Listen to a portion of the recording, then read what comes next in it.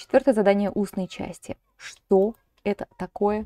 Мы не знаем, что это такое, мы не знаем, что это такое. Надеюсь, вы знаете про этот мем. Итак, а, это задание а, относится к высокому уровню сложности, оно из себя представляет следующий момент. Это две фотографии на определенную тему, один из топиков кодификатора.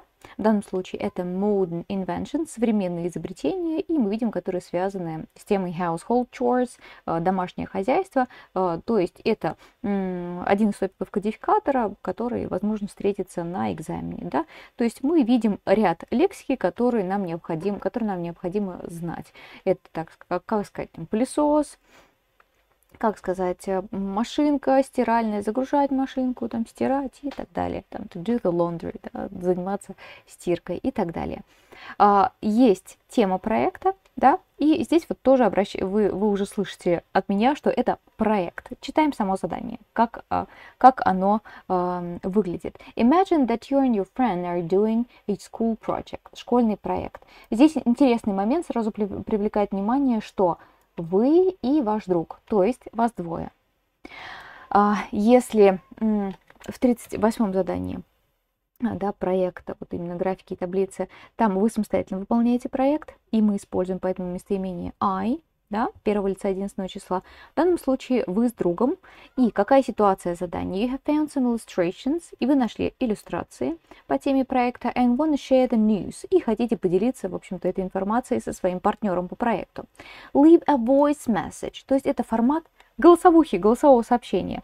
То есть есть определенный такой элемент неформальности, да, то есть, о, ну как, как мы отправляем голосовые, о, привет, Маш, я тут нашел картинки, сейчас я расскажу про них поподробнее для нашего проекта.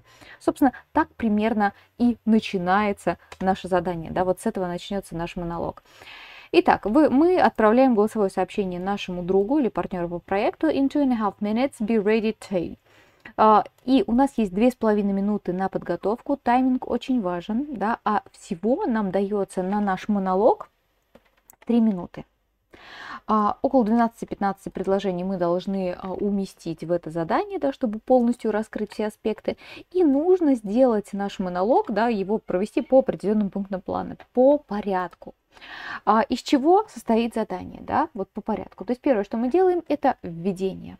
Оно э, здесь, здесь не написано введение, нет такого, но оно априори, э, априори есть, как и завершение. Это, мне кажется, такой классический ход составителей ЕГЭ.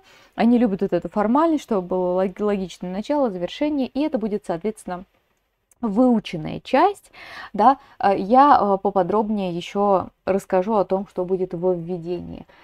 Но в действительности это вот э, будет звучать примерно так. Hey Maria, it's me. Imagine what I've just found two pictures suitable for our project. И мы называем тему проекта, в данном случае Modern Inventions. Let me tell you a bit more about them. Да, позволь мне побольше рассказать про них.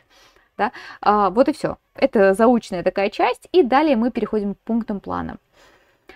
Первое, что мы делаем, это описываем картинки, даем краткое, э, краткое описание. Explain the choice of the illustrations for the project by briefly describing, да, тут есть небольшая опечатка, describing them and noting the differences.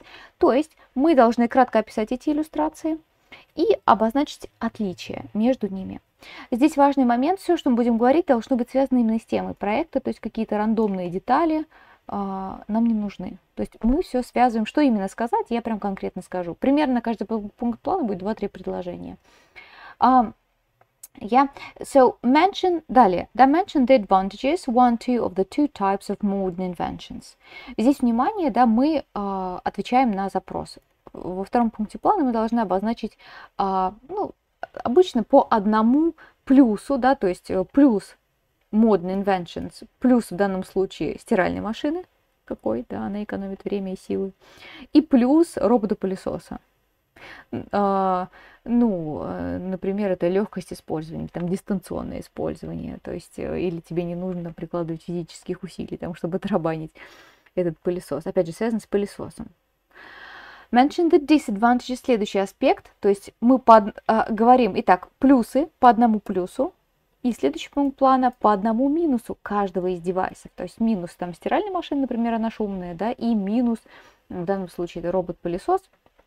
Я не знаю, в углу он не достает, и там пыль все равно остается, как вариант. А, Следующий пункт плана express your opinion on the subject of the project. Здесь мы что? Что от нас требуется? Здесь э, необходимо выразить свою точку зрения, your opinion, ваше мнение, сказать не общую какую-то фразочку, по конкретному запросу. Which modern invention you'd prefer and why? То есть здесь два вопроса в одном. Какой из этих современных девайсов, ну, представленных в данном случае на этих картинках, вы выбираете и почему? Это ну, в среднем два предложения. Да? Personally, I'd prefer. И здесь важным аспектом является грамматическая форма а, здесь вот в самом пункте плане, пункте плана. Она может быть вот либо с would, да, то есть какое, какое изобретение вы бы предпочли, you would prefer, и значит, мы отвечаем именно в этой грамматической конструкции. Personally, I would prefer или I'd prefer, там, не знаю, a washing machine, yeah, as it really helps to save time. Да? А... Да, и объясняю, обязательно пояснение даю, почему. А, вот, и следующий аспект – это завершение. Завершение в свободной форме, то есть, ну, все, спасибо, жду твоего ответа, Маш, давай пока да, как вариант. То есть мы к эксперту не обращаемся, мы обращаемся к нашему партнеру по проекту, и в три минуты мы укладываемся. А, это все по общим аспектам. И далее я дам схему ответа, что именно говорить в каждом абзаце.